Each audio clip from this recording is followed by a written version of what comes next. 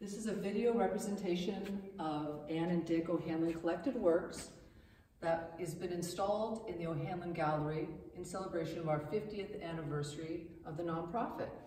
We're starting out with a photo of Ann and Dick O'Hanlon that was taken by Perkle Jones, and it is representative of one of the sculptures you'll see further on in the collection.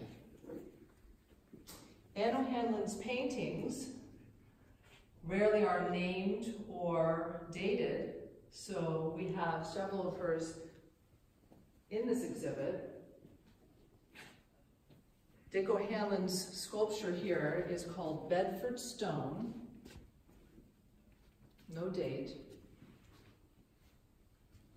This other photo, uh, painting, number four, is Ann O'Hanlon acrylic on linen and Ann is known to have said that this was a painting of herself and Dick and their life together.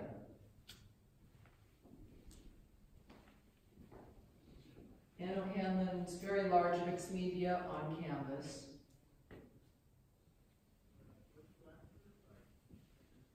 This is a small self-portrait, the only known self-portrait we have of Ann O'Hanlon.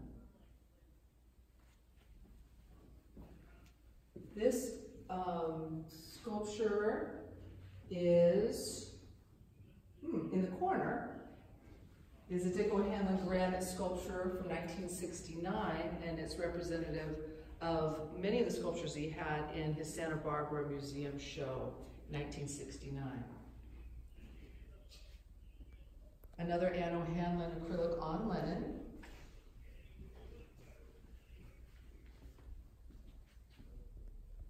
And then that one is later on. Yes, I guess I could talk about it, but I didn't. So here we have another Dick O'Hanlon bronze, probably an early bronze. This next painting by Ann O'Hanlon is an acrylic on linen. Does have a year, 1963, in memory of the assassination of a great human or the struggle between light and dark on this planet. And then we have a Dick O'Hanlon sculpture that is named Hiroshima. So both in response to big world events.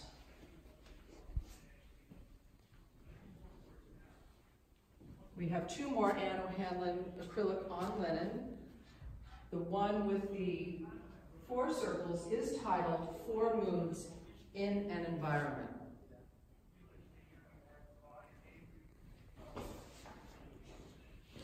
This bronze in the middle of the room is from the 1960s. It's also the one that was shown in the first photograph, and its title is Sierra Precipice. And in the corner, which we saw earlier, is Dick O'Hanlon, one of his series of Mobian sculptures, and this is compressed aluminum, 1985. It was donated to us by Dr. Donald Berg for this exhibit and for us to keep in our permanent collection. It is Dick O'Hanlon's last sculpture as he passed away in 1985. We're going to be going upstairs in the gallery.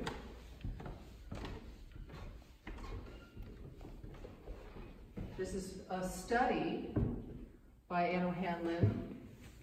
It is believed to be a study for the next painting that we'll see here, which is oil on linen.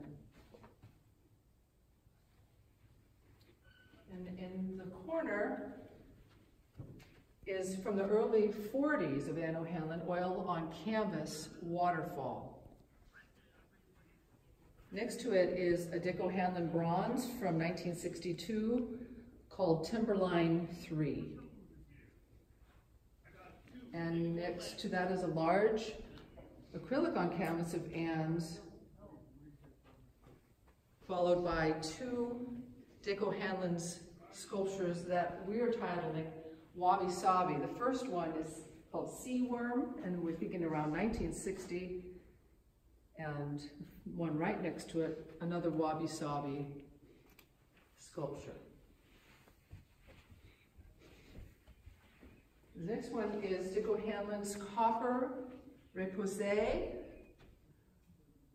Don't have a date on this right now.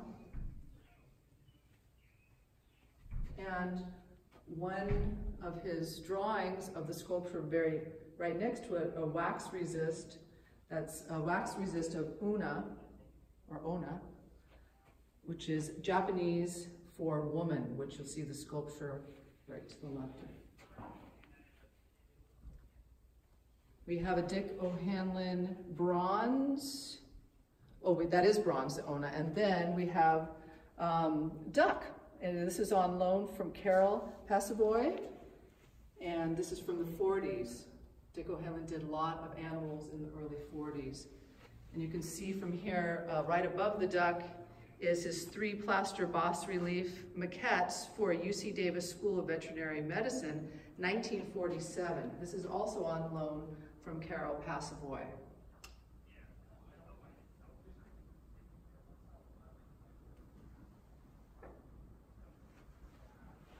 Next we have a very small ink drawing, 1943 of Dick O'Hanlon's.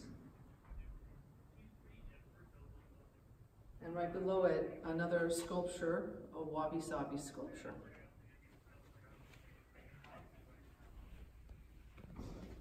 So that is an acrylic on linen of Ann O'Hanlon, a painting. More of Ann O'Hanlon's paintings, very bright colors. And in between two of her paintings here is a Dick O'Hanlon study for a monument, 1960.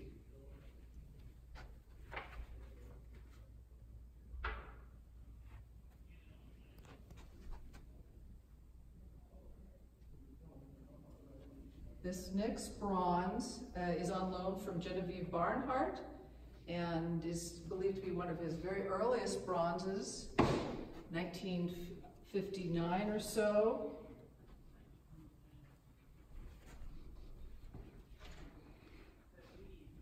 And following this, we have a Dick O'Hanlon maquette for his 1976 Sunstones, which was erected in Berkeley at the uh, Berkeley Of Science? Yes. And the last piece in the show, for this show, is a bronze that was actually done by Ann O'Hanlon, a reclining figure. We want to thank Jeremy Thornton and Cayen Robertson for curating this show. And the art installation was done by Jeremy Thornton, Cayen Robertson, Chris Gordon, Brett Hopper, Leonardo Nino, Alec Luke, and Lexi Weston.